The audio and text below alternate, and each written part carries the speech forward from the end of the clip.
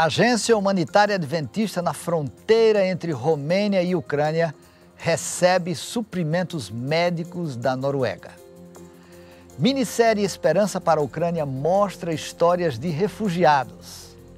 No Caribe, estudantes promovem estilo de vida saudável e sustentável. Jovens sul-africanos mostram o amor e compaixão de Jesus visitando os órfãos. A seguir, você vai ver todos os detalhes destas informações aqui na NN. Começamos a edição desta semana na fronteira entre a Romênia e Ucrânia, onde a ADRA, a Agência Adventista de Desenvolvimento e Recursos Assistenciais, tem um depósito para receber e distribuir ajuda ao povo ucraniano. Uh, Estamos aqui no armazém da Adra, que fica na fronteira da Romênia, bem aqui com a Ucrânia. Hoje temos mais uma remessa chegando. Esse caminhão veio da Noruega. Está cheio de suprimentos médicos de alto valor. Estamos descarregando-os agora. Vamos colocá-los em caminhões menores e levá-los através da fronteira para a Ucrânia, onde realmente precisamos deles agora. É emocionante ver que o Corpo de Bombeiros local também enviou voluntários para nos ajudar a descarregar este caminhão rapidamente e levar os suprimentos para a Ucrânia. So it's critical that we Uh, é fundamental que movamos estes suprimentos rapidamente daqui em caminhões menores e através da fronteira. É incrível que a Europa tenha aberto seu coração. Nosso caminhoneiro, que acabamos de conhecer da Europa, ele está muito animado por fazer parte dessa missão humanitária. O gerente do armazém abriu seu local para nós de forma gratuita para que o usemos nos próximos meses. Todos estão se voluntariando para ajudar a tornar isso o mais rápido possível e eficiente.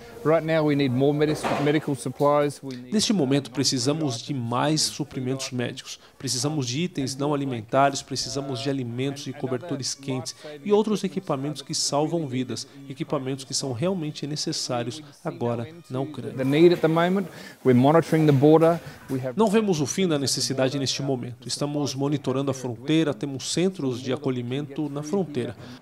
Os vendedores que há na fronteira estão diminuindo. Então, quanto mais pudermos passar por aqui e continuar a reabastecer alimentos e itens não alimentares em nossa passagem de fronteira, é realmente essencial.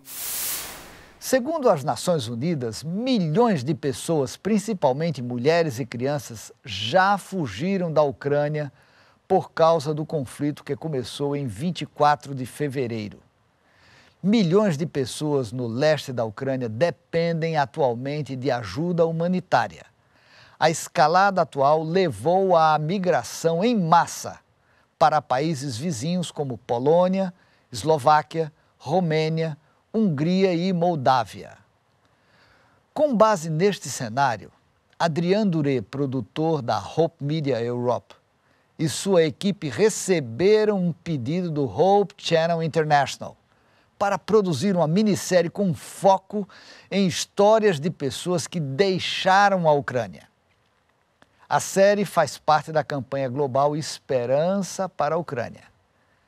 Confira o primeiro episódio. Kharkov é um dos centros culturais e educacionais mais importantes da Ucrânia. Após vários ataques, a cidade ficou desolada e destruída. Desde o primeiro dia ouvimos bombardeios. Ouvi explosões às 5 e meia da manhã.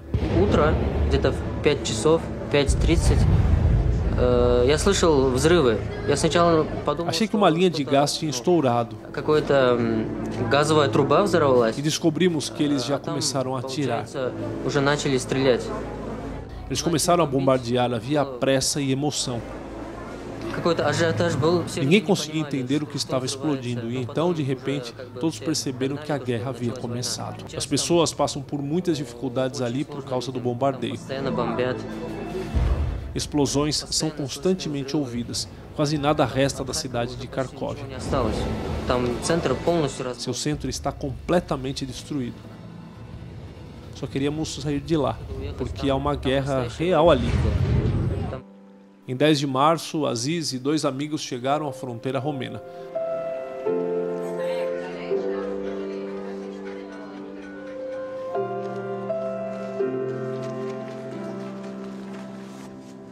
Oito horas depois de cruzar a fronteira, Aziz partiu para seu novo destino.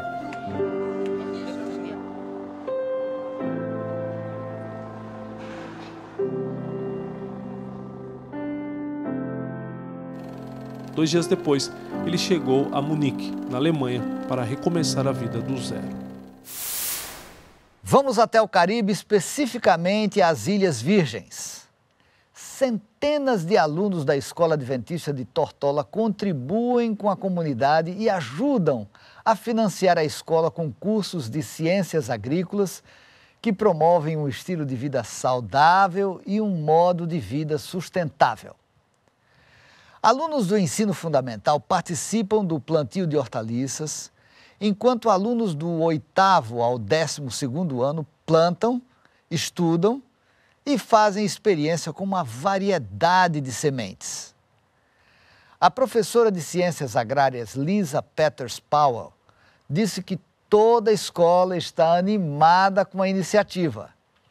Os alunos podem provar seu trabalho duro após a colheita, com a maior parte da produção sendo vendida e os lucros devolvidos à escola. A experiência também permite conexões com a comunidade local. Funcionários da escola disseram que o conhecimento e as habilidades compartilhadas por meio do programa continuam fazendo uma diferença positiva na vida de professores e alunos e comunidade. Neste ano, o tema do Global Youth Day, o Dia Mundial do Jovem Adventista, Amar os Esquecidos, foi muito apropriado pois jovens de todas as partes se empenham em imitar o ministério de amor e compaixão de Jesus Cristo. Os jovens do sul da África, por exemplo, decidiram cuidar de órfãos esquecidos. Noel Simbanda tem os detalhes. Acompanhados por seus pais e pelo diretor de jovens da divisão, pastor Buzi Kumalo, os jovens decidiram visitar o orfanato Moai Patri, em Ramasco, nos arredores de Pretória, África do Sul.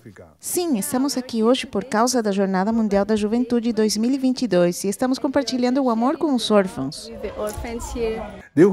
O lar acolhe mais de 50 órfãos de 0 a 18 anos.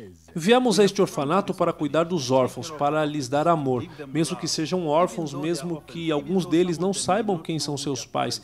Queremos assegurar-lhes que temos um Pai amoroso no céu, que é nosso Pai, que cuida de todos nós e que nos ama a todos.